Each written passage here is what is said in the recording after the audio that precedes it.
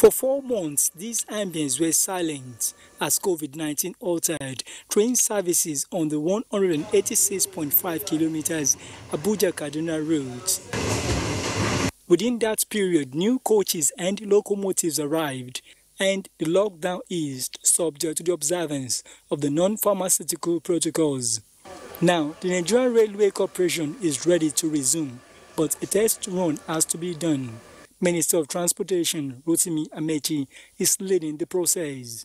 Satisfied with the measures put in place in compliance with the PTF directives as well as the new coaches and locomotives, the minister says train services will resume but with 100% increase in fare. And I'm happy that we receive, we receive more coaches than we have had before.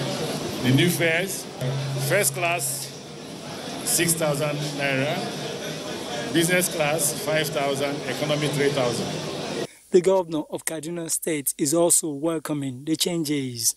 Um, I have always held the view that the fares were too low and that's what, that's what has led to the racketeering. So why shouldn't the government capture that?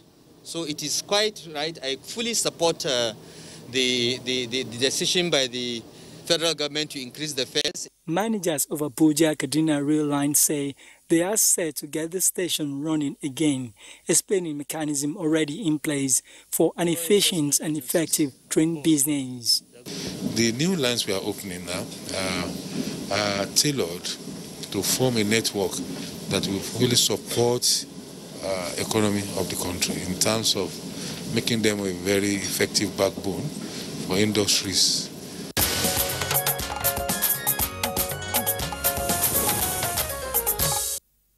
right. Uh, thank you very much, Alicia, for that uh, background there. We have uh, to discuss this issue with us. Uh, joining us via Skype from Lagos is Engineer Fidet Okhiria, who is Managing Director of the Nigerian Railway Corporation. Uh, Engineer Fidet, uh, via Skype from Lagos, thank you for being with us this morning. good morning. All right. Uh, and here with us in the Abuja studios, we would like to welcome a regular guest on Good Morning Nigeria on transportation issues. Mani Ochubojo is a lawyer and transport analyst. Uh, Mani, pleasure to have you with us. Thank you very much for having me. Good morning, morning, Nigeria. Okay. Uh, let's begin with um, Engineer Fidet Okhiria, uh, via Skype from Lagos. Engineer Fidet, well, after uh, several months of uh, non-operation of train services on account of COVID-19. You are due back to resume on the uh, Lagos on the uh, Abuja uh, Kaduna uh, route. Exactly what should uh, passengers expect? Thank you. Knowing that under which condition we are operating, we expect them to keep social distance at least two, between two to three meters and we have done our part by marking the seats that are available. For the business class, that used to be 56 persons, is going to be taking 28. That's only the window seats are expected to be occupied by the passengers. While the 88 seater coach will take uh, 40 I think 46 passengers because for the three row seats, we take two, and for the two row seats, we take one. We, see, we have 60% occupation, and we expect our passengers to wear a face mask and come with your hand sanitizer. Why do we say so? Because the volume of traffic we carry, let's say 5,000 persons per day, if we buy sanitizer, which means the cost, we may not be able to buy for to provide the service. So we are advising our passengers to come with the mobile, small hand sanitizer that is uh, quality and qualified to be used, alcohol based. It's only when you have your nose cover and hand sanitizer, you can come close to the station. And we start checking from right from the car park. And uh, starting tomorrow, we are still going to operate our normal eight round trips because we have to train of the new rolling stock has come by the suppliers. The t- two locomotives and eight coaches are already at uh, Abuja. It's, we try run it with the Chinese driver on it on Saturday to our Kaduna and back. And we are planning so that, because the Chinese are so scared, they are afraid to come out, so that we can have, if possible, have virtual training because it's not a new thing. Our drivers already at it, but they have to show them the respective places where they now have the uh, instrument and equipment to operate the, the locomotive.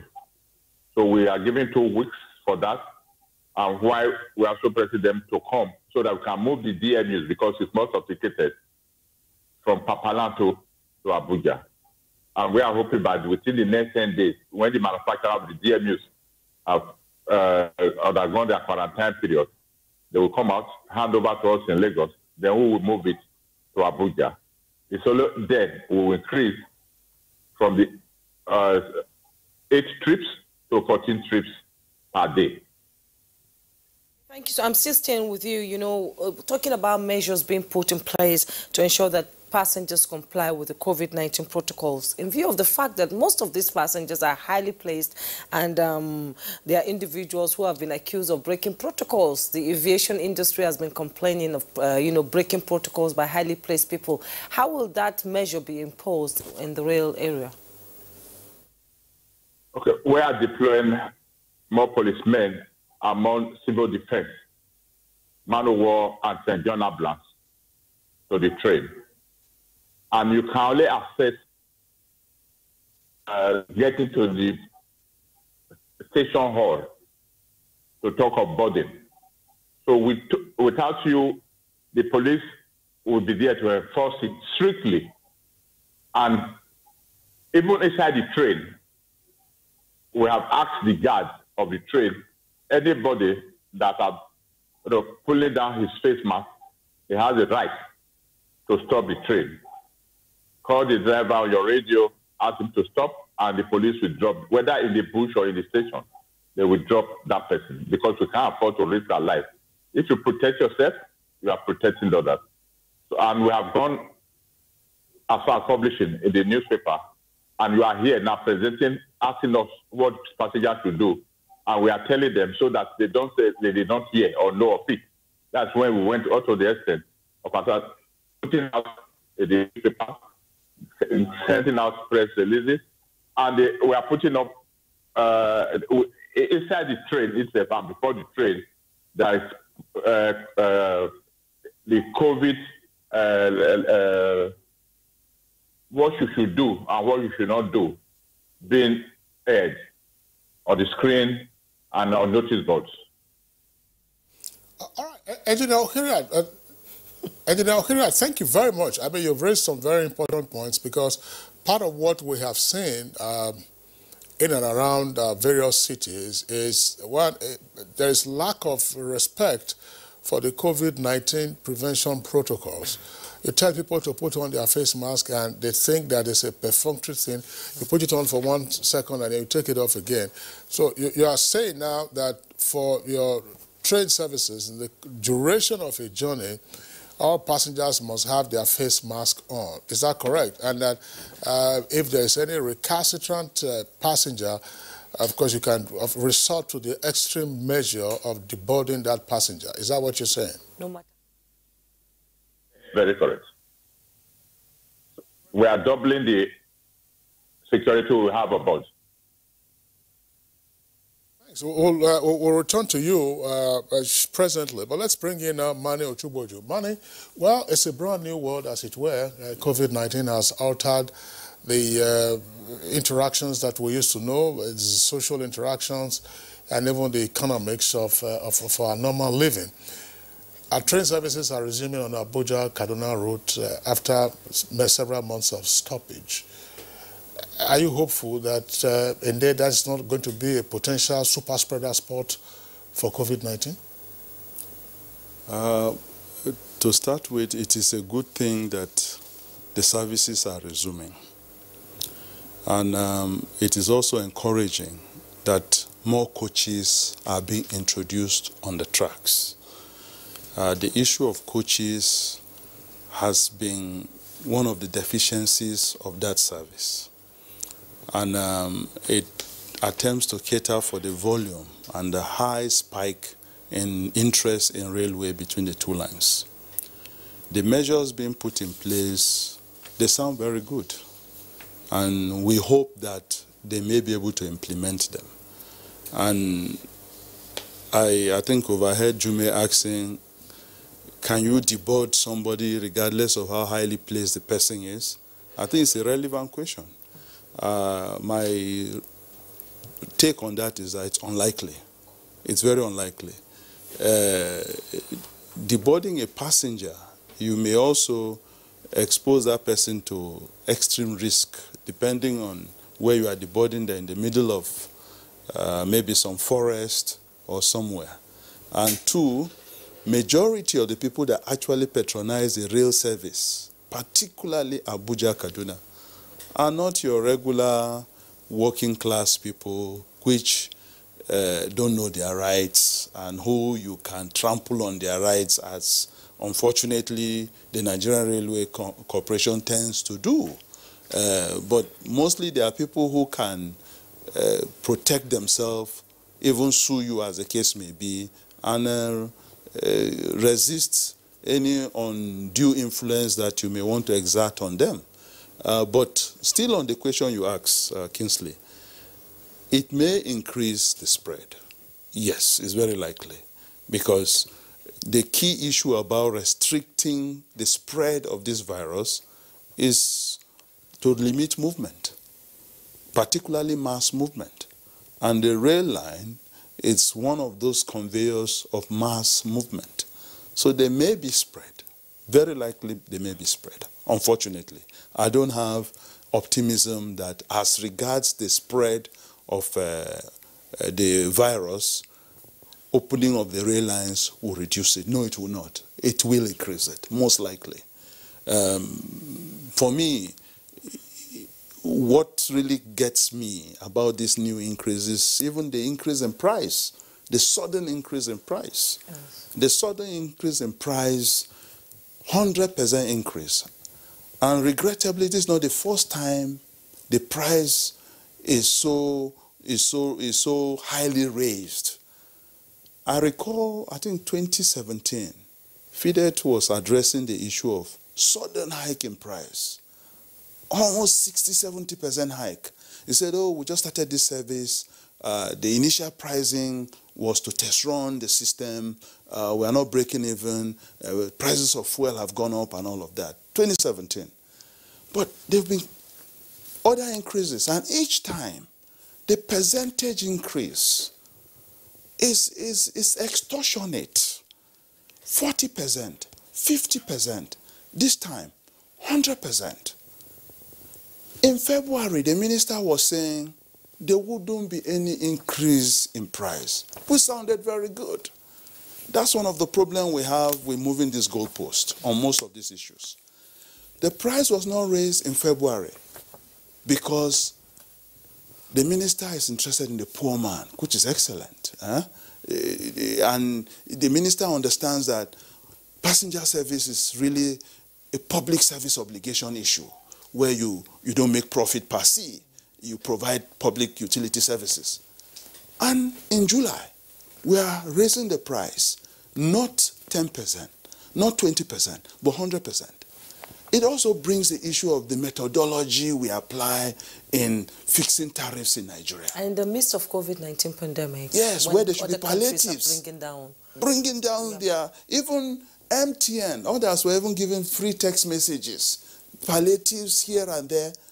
Nigerian Railway Corporation has not given any palliative to the average man.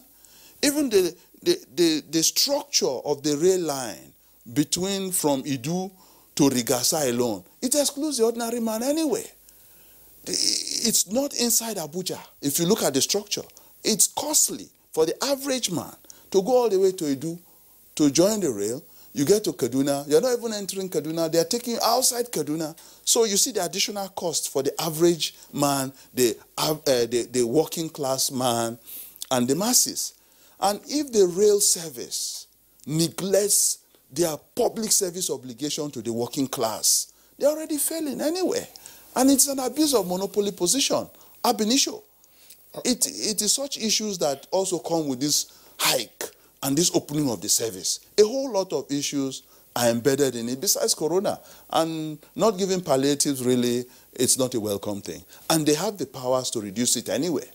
Oh yes, the, the, the act, the Railway Act of 1990, still has this old administrative military decree thing embedded in it that gives you power to raise the fare, reduce the fare, increase it for a period, lower it for a period, reduce it for an individual or for an occasion or for a company. You know, wide powers which in each line of those rules, it says as a corporation deems fit or as the minister deems fit. You can see that draconian military mentality or colonial throwback in that legislation.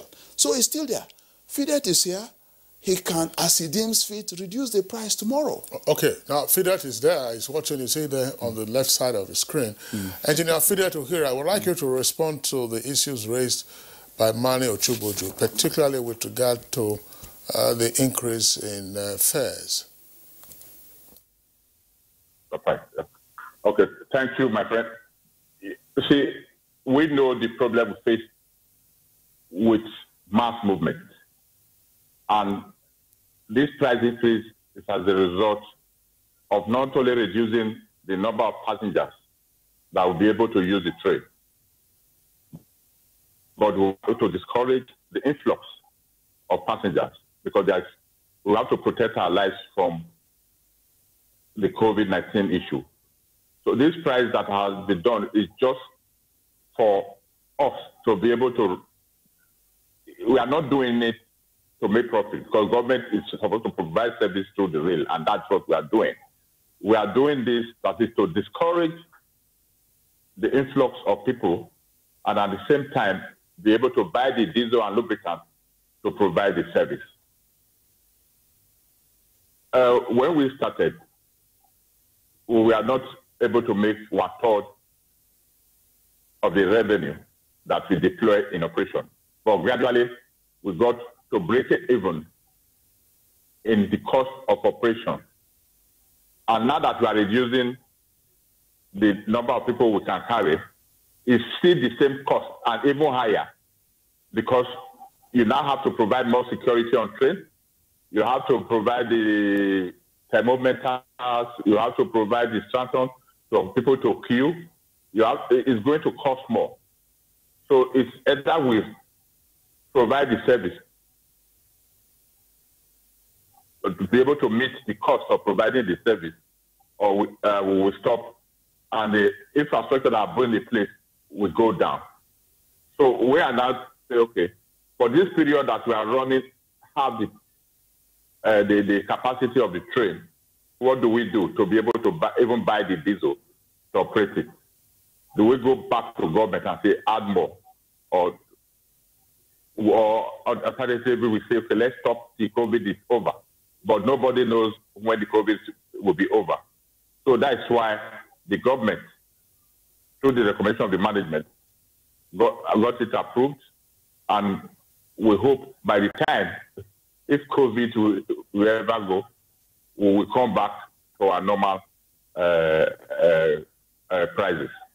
So it is now apart from COVID is upsurge and at the same time to be able to provide the fund to operate the system so that people have been on, on people have been calling from when are you starting? When are you starting? And uh, and the people you think at the level riding the train will people that will discipline themselves. They know the bad and the good, and they know what the impact of COVID nineteen will have on their lives. So we will not wait for them to enter the train before we start telling them what to do. We will tell them what to do before they get the ticket and before we allow them to board. And when they board, we ensure that they are monitored to ensure that the uh, face cover is properly worn. It's, I will ask them to please, I will plead to Nigerians to bear with us on the increase, in the increase in price because it's part of coping the spread of COVID and at the same time able to operate the system. Thank you. I'm still going to say, stay with you. The last time you were here on Good Morning Nigeria, we discussed about ticketing points and, um, you know, introducing electronic ticketing for the rail line. Where are you on that? Okay. Uh, the last time we mentioned about the approval by the FEC, and eventually during the COVID, we were able to do virtual meeting with NITDA, and they have given their certification and the equipment need to be imported by the uh, partner, and is working on that seriously. This week, his engineers will be on Abuja Kaduna doing the preliminary uh, uh, what they can do right now. So the barriers and all whatnot have to be put in place. We are hoping that within the next two three months, we'll be able to deploy the electronic uh, paying fare system on the Abuja Kaduna rail service, while we are also planning. It, it, the modernization process is that we, have, we are lucky, we have Itakpe Warri, which was tested a week before now. And from Ebute Metta to Ibadan track, it's also ready to go. So we're also planning now to ensure that the e-ticketing covers both the other two uh, new routes that will come in play on the narrow gauge, on the standard gauge, because the station have to be customized to meet the e-ticketing uh, platform. So we are on top of that, and we are hoping in the next two months, people will be able to buy their ticket online without coming to queue at the station. As I said earlier, not everybody can buy it on the, at the platform even when you, at the airport, people you still go to the airport to buy your ticket. So we are not closing the the, the station's point of sale, but still it may be not the electronic sale at the station, unlike the hard copy.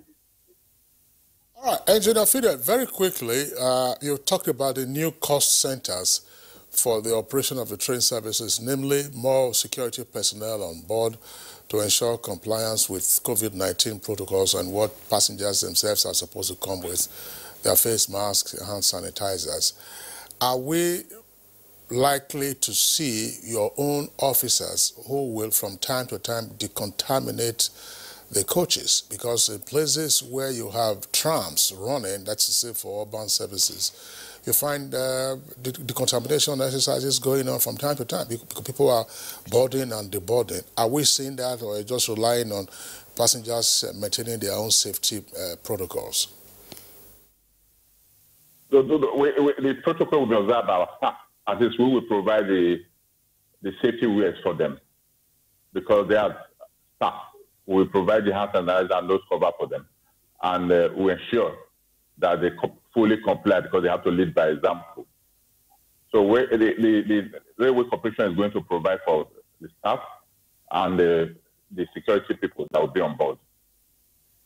All right. And uh, Mani Ochuboju, uh, very, very briefly, we're talking about uh, how to also ensure that the coaches themselves uh, are not uh, carriers of, of the virus.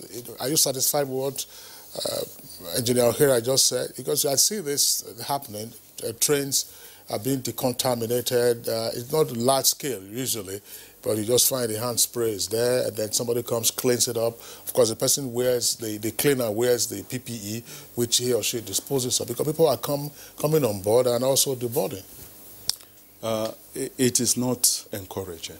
It is not. Uh, it, though the services have not started, but we want to give them the benefit of doubt that when it starts tomorrow, they will decontaminate on a regular basis and vigorously and intensively so that other persons using their service are also safe. And also, it does not become an active vector that will be carrying this virus from one city to another. You know, in addition to the uh, e-ticketing mentioned, I think we should also keep in mind the issue of uh, scanners to enhance safety, safety and security in the, in the train stations. Those are issues that have been completely neglected in the planning and in the operations of the rail line thus far, whereby anybody can carry any, uh, any uh, improvised explosive device onto the train without being spotted. Mm. And that is a serious issue that uh, they should consider. Okay, thank you so much, Mr. Mani Ochubuju, mm. transport consultant, a lawyer and transport consultant. Thank you so much for your input you, on Good Morning. It's been a pleasure having you as My always. Pleasure. And we also like to thank Mr. Fidet Ohere, Managing Director, Nigerian Railway Corporation, NRC. He joined us from via Skype. Thank you so much for your input on Good Morning Nigeria. Sports Update is next. Glasgow Rangers are interested in bringing Super Eagles forward Josh Maja to the Ibrox this summer, according to reports. The Jazz are ready to open